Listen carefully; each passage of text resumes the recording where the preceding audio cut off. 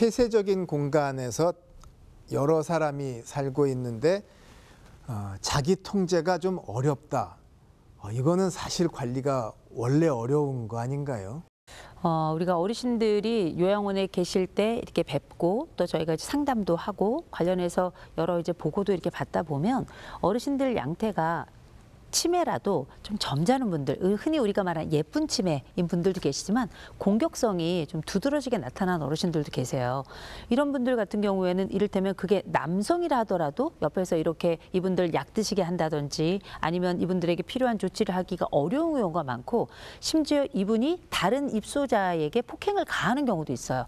근데 이제 이런 것들에 대해서도 조치를 취하는 게 기본적인 기관의 의무입니다. 그런데 그게 이제 어려운 상황이 되니까 이를테면 억제대 같은 것에 대한 동의서를 받게 되죠. 이분이 이런 공격성이 발현이 되거나 망상이 심해서 다른 사람에게 고통을 준다든지 뭐 이런 어, 상황들이 있으니 이 보호자들에게 이럴 때 저희가 억제대를 써도 되겠습니까? 그래서 억제대에 관련된 얘기가 이제 그때부터 나오는 건데 억제대라는 게 이게 움직이지, 움직이지 어- 못하게, 이제 못하게. 팔 이렇게 다리 이렇게 묶어놓는 게 있어요. 침대 예, 침대에.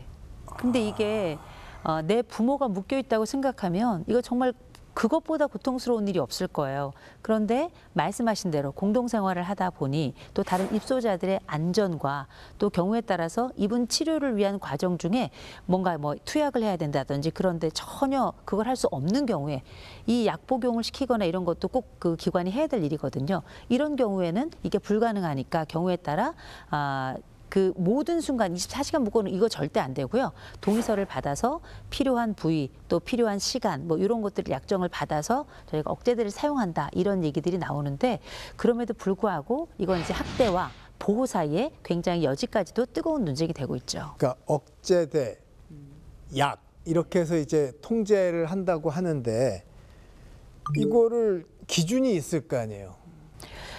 기준이라는 게 참 어렵습니다. 어렵지만 이제 어, 적어도 당사자에게 원래 억제대를 써도 되겠느냐라는 동의를 받아야 하지만 그러지 못한 경우가 있잖아요. 치매 어르신이 치매 상태가 좀 심하다든지 인지적인 판단이 되지 않는다든지 그런 경우는 보호자의 동의를 받게 돼요. 근데 그냥 무조건 아무데나 쓰겠습니다가 아니고요. 어느 부위에 살, 때 사, 할- 사용할 것인지 또 신체 억제대를 어떤 종류를 쓸 것인지 그 방법은 어떻게 할 것인지 이런 것들에 대한 아주 자세한 설명과 그 항목들이 다 이제 동의서에 나와 있긴 하거든요. 나와 있긴 한데 아, 문제는 우리가 이 동의서를 받는다 하더라도 결국 판단은 기관이 해야 되는 거예요. 그 보호를 직접적으로 하고 있는 장기 요양사하고 기관장이 해야 될 부분이거든요.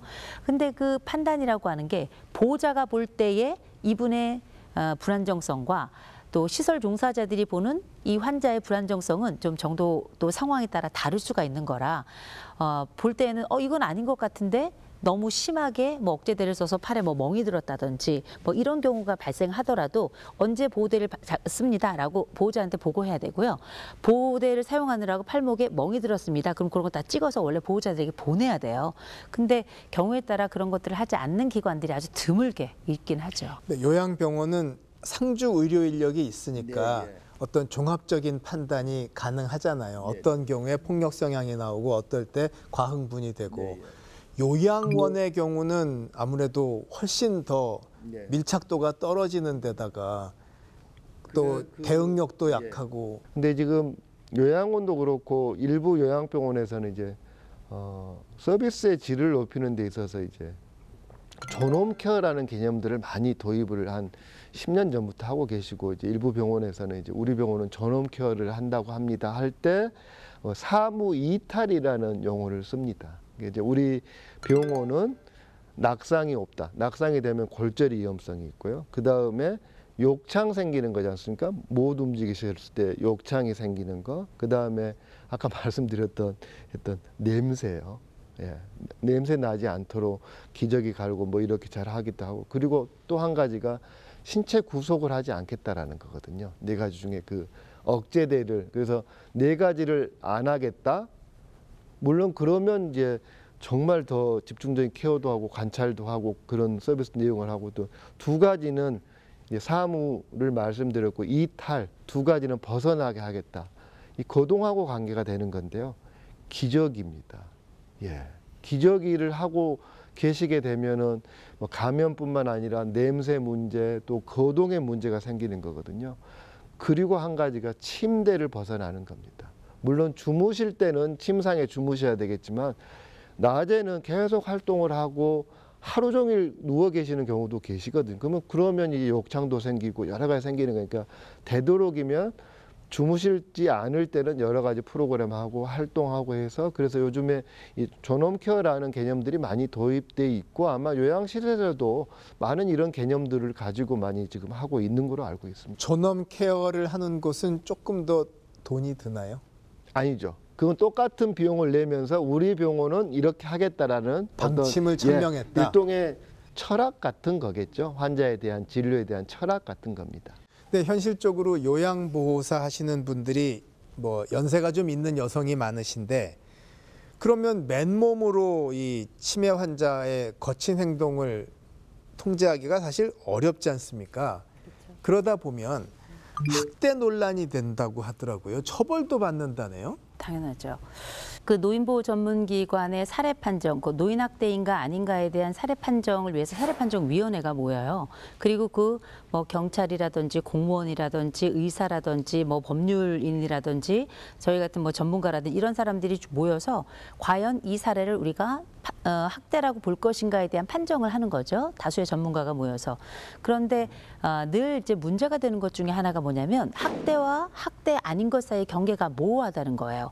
특별히 어, 우리가 예를 들어서 아주 공격적이거나 물건을 막 던진다든지 아니면 실제 어, 이 돌봄을 제공하는 요양보호사를 깨문다든지 아니면 뭐 펀치를 날린다든지 이런 일들이 정말 비일비재하거든요.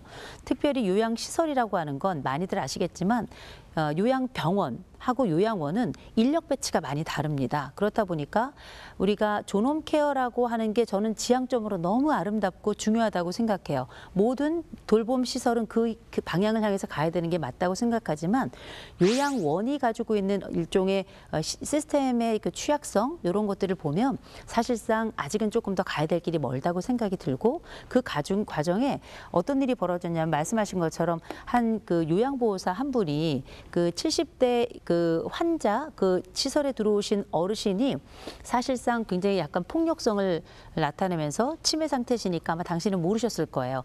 투약을 하는 과정에 주먹을 날리면서 그분의 얼굴을 그냥 가격을 해버린 겁니다. 이런 상황에서 이분들이 사실상 그 투약도 의무니까 약을 드시게 하느라고 압박들을 사용했어요. 그러면서 이제 손에 상처가 나요. 이걸 이제 가족들이 어, 치매 어르신들에 대해 학대를 했다. 그래서 이 부분에 대해서 이제 고발 고소가 들어간 건데 결국 이 요양보호사는 집행유예로 풀려나긴 했어요. 근데 이런 상황이 벌어지니 제가 늘 강조하는 게 몇 가지 있습니다. 하나는 뭐냐? 아, 우리가 요양 시설에도 CCTV 달아야 된다는 거예요. 그건 환자도 보호하고 억울한 경우 이 종, 이, 그 이용자뿐만 아니라 종사자들도 보호할 수 있는 몇 안 되는 것이다. 라고 해서 저는 CCTV를 좀 강조하는 편이고 또 한 가지는 이런 문제가 생기니까 장기 요양사들 그 요양사 요양보호사들이 한 기관에 오래 있질 못하고 탈진해서 그냥 떨어져 나가 버리는 거예요. 이런 문제가 생기다 보니 이게 학대의 문제뿐만 아니라 시설 운영의 문제, 또 가족의 불안의 문제 이런 것들이 다 엉켜 가지고요. 이 기관이 사실 우리가 두려움의 구간이 기관이 되거나 아니면 요주의 관찰 기관이 되는 이런 상황이 되고 또 종사자들은 자꾸 도망가는 이탈하는 기관이 돼버리는 안타까운 상황이 된 거죠. 정신병동의 경우에 남자 간호사들 이제 유도하신 분들 있잖아요.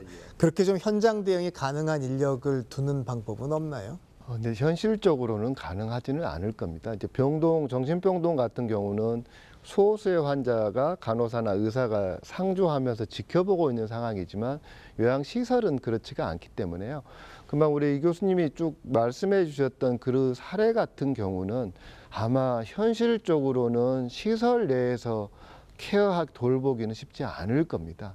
그런 경우면 문제 행동이 아주 심한 경우면 어, 병원에 좀 입원을 뭐 한 2, 3주라도 해서 어느 정도 좀 안정을 시킨 다음에 다시 오도록 하는 게 어, 조금 현실적인 좀 대안이 될 수 있지 않을까 생각이 듭니다. 근데 이제 치매 어르신들의 경우는 장소를 이동하면 선망 증상이 굉장히 많이 일어나요. 그러면 어, 우리가 요양 시설에서 이분들이 선망이 있다고 해서 병원으로 또 이송하기가 좀 어려운 이런 어려움을 호소하시는 그 요양원 원장님들도 많이 계시거든요. 그러니까 선망은 일시적인 증상이니까. 일시적인 거죠. 한시적 정신 장난이 일어나는 건데 이런 상황일 경우에는 어쩔 수 없이 억제대를 이제 보호자 동의를 받고 쓰는 경우가 있지만 이런 경우도 보호자도 힘들지만 그 억제대를 사용하는 기관에서도 너무나 조심스러운 거예요. 그렇다고 이 또 선망이 일어난다는 건 자기 통제가 전혀 되지 않는 거라 어떤 말씀을 하시고 어떤 행동을 하시는지 당신도 전혀 모르시잖아요. 그런 경우에는 우리가 이제 학대와 학대 아닌 것의 경계, 학대와 보호의 경계 사이에서 억제대를 쓸 수밖에 없는 이 상황이다라고 현장에 계신 분들은 많이 또 말씀을 하시죠.